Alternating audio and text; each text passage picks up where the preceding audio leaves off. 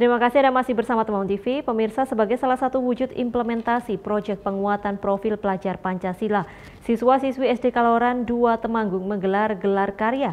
Salah satu yang menarik dalam ajang tersebut adalah fashion show dengan penampilan gaun dengan bahan daur ulang dari sampah. Dan selain itu juga pementasan seni budaya serta pameran hasil karya siswa. Siswa-siswi SD Negeri 2 Kaloran mementaskan kesenian tradisional dan modern serta menggelar pameran hasil karya siswa dan basar kuliner. Beginilah suasana gelar karya yang diadakan oleh SD Negeri 2 Kaloran.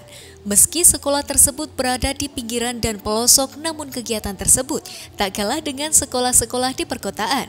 Salah satu hasil karya yang berhasil mengundang decak kagum para undangan adalah penampilan fashion show gaun pesta dengan berbahan dari sampah atau daur ulang yang dibuat oleh siswa-siswi kelas 5 dan 2. Mereka menggunakan bahan kertas koran dan plastik bungkus minuman instan untuk membuat gaun pesta yang kelihatan mewah dan unik. Bahannya dari apa aja? Dari koran. Koran bekas gitu. Berapa hari buatnya? Kira-kira berapa? Seminggu ada? Sebulan? Satu minggu kayaknya. Satu.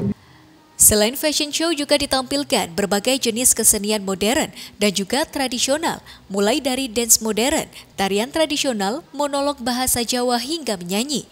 Penampilan anak-anak SD Kaloran 2 membuat sebagian penonton yang mayoritas adalah orang tua mereka membuat terharu hingga menitikan air mata.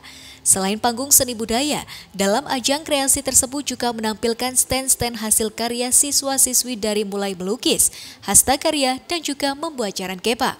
Menurut Kepala Sekolah SD Negeri 2 Kaloran Mulyono, ajang gelar karya ini merupakan implementasi dari proyek penguatan profil pelajar Pancasila dengan tema kearifan lokal.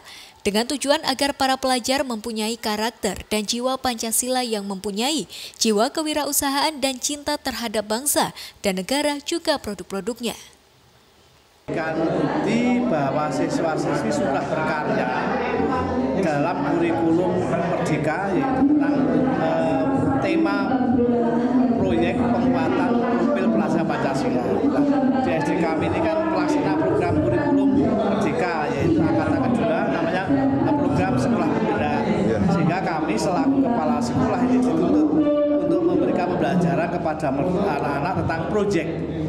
Nah, proyek yang kami ambil ada tiga, yaitu proyek kearifan lokal membuat jalan pipa, kemudian proyek kewirausahaan melakukan pembibitan tanaman, kemudian pemanfaatan sampah itu. Ya. Dengan tujuan nanti anak-anak ke depan nanti bisa uh, punya ilmu sehingga nanti bisa dikembangkan di masyarakat. Setidaknya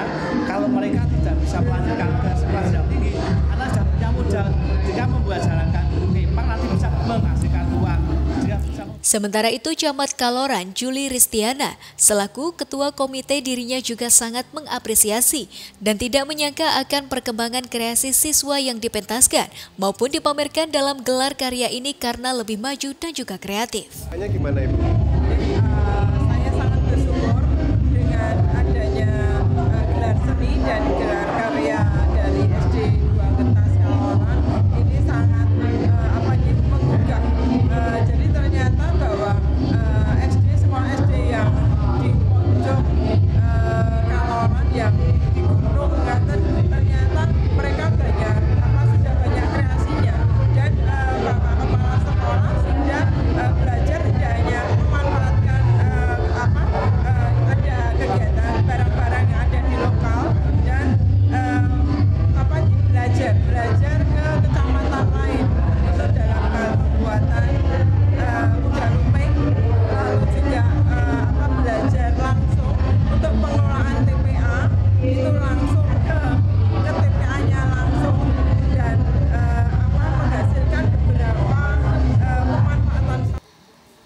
Dian Setiawan, Temanggung TV.